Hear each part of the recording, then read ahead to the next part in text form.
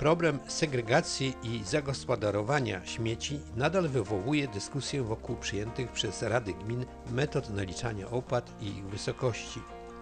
W gminie Tuchomie przyjęto model, którego orędownikiem był wójt gminy Jerzy Lewik-Jedrowski, metodą ryczałtu na podstawie ilości osób zamieszkujących w gospodarstwie domowym. System ten wydaje się być optymalny dla gminy i jest nieco tańszy dla mieszkańców niż ten przyjęty w Bytowie.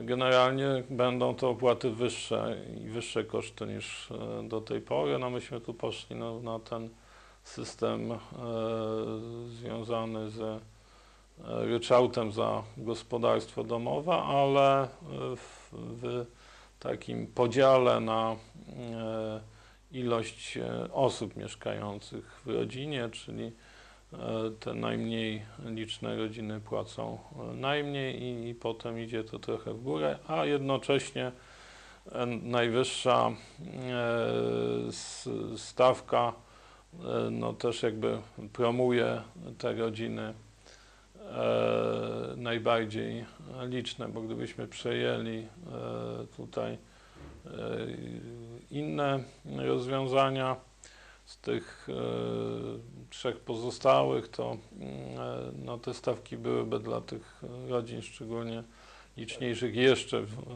większe. My mamy przedział 1-2 osoby, to jest 19,50 zasegregowane. No przyjmujemy, że jednak wszyscy będą segregować.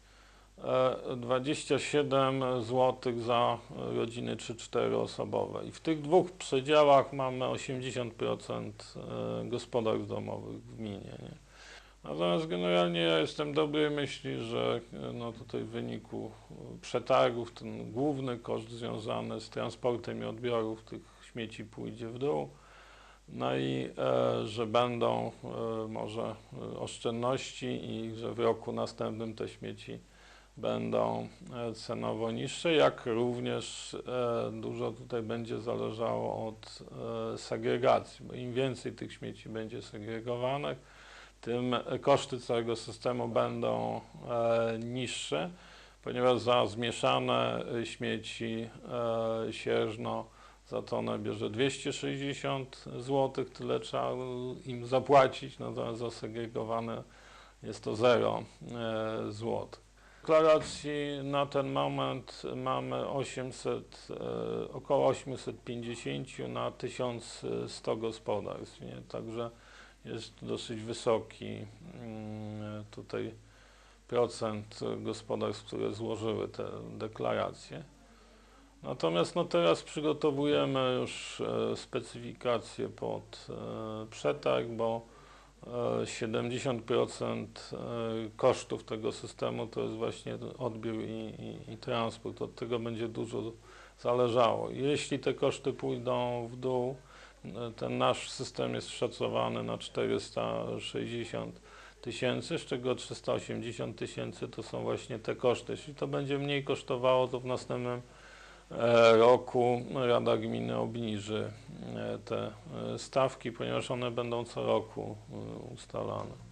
W gminie trwają prace niwelacyjne pod przyszły rynek. Wójtowi przy tej okazji udało się za jednym pociągnięciem upiec dwie pieczenie, uporządkować teren wokół budynku gminy, a jednocześnie wybudować dla mieszkańców miejsce na lokalny handel. W ubiegłym roku zlikwidowaliśmy tutaj y, ogrodzenie od frontu, czyli urząd stał się tak bardziej e, otwarty, zmieniony, zmieniliśmy też trochę układ parkingów, też e, dach został odnowiony, myślimy o elewacji.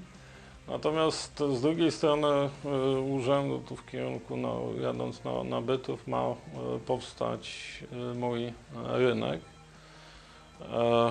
No to jest targowisko właśnie w ramach tego programu Mój Rynek Budowane, no to dostaliśmy rządowo-unijne pieniądze, dofinansowanie jest dosyć wysokie, 75%.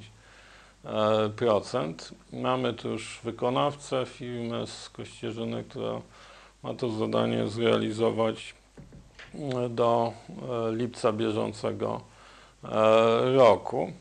No i ma to być taki mini rynek o takim przyzwoitych, że tak powiem, warunkach do, do handlu. Ma być 10 straganów, 30 miejsc parkingowych. No, ma to być wyłożone ładną e, kostką, ma, ma być zaplecze sanitarne, e, ma to być ogrodzone, oświetlone, e, skanalizowane. Także warunki tutaj będą, myślę, no, e, ten handel dobry i generalnie chodzi o to, taka jest idea tych, tych moich rynków, żeby uruchomić jakby mm, e, lokalnych producentów e, żywności, no, e, tych, którzy mają jakieś nadwyżki, również działkowiczów.